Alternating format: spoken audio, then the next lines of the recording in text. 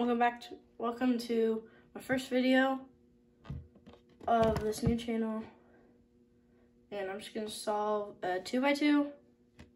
I'm not the greatest. I kind of use a new way of doing it, but it works. So let's see how fast I can get it. Starting at 30 seconds. Check it over.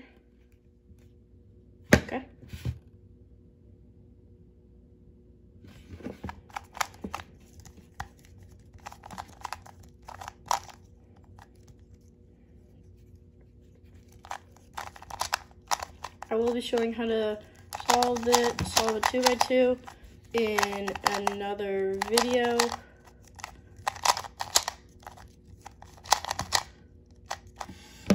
That took me roughly 20 seconds. That was really bad, but I can solve it faster. Just off camera. I always do really bad on camera. So yeah that's my first video of me solving a 2x2. Thanks for watching. And please subscribe to my new channel.